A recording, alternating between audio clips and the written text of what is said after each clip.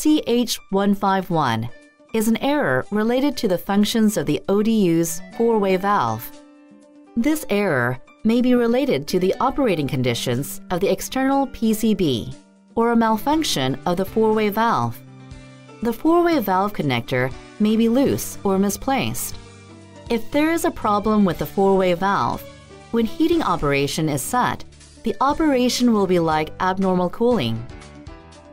You can check any problems or malfunctions of the four-way valve through LGMV. In a normal operation, during heating mode, pipe out temperature should be high, normally above 40 degrees. However, in case of damage to the four-way valve, pipe out temperature is very low. This will cause the error to occur. To solve this problem, start by removing the panel on the front of the outdoor unit. Disassemble the control box cover of the outdoor unit. Check the location of the four-way valve. There is an upper and a lower four-way valve coil. Their role is to operate the valve.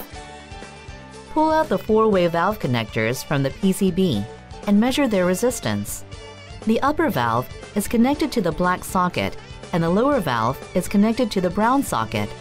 Depending on the model, normal value for the resistance should be 1,355 ohms plus minus 10% or 2,085 ohms plus minus 10%. Any value outside this range will generate error CH151. If the value is out of range, replace a valve coil. Measure the voltage of the four-way valve connectors at the external PCB.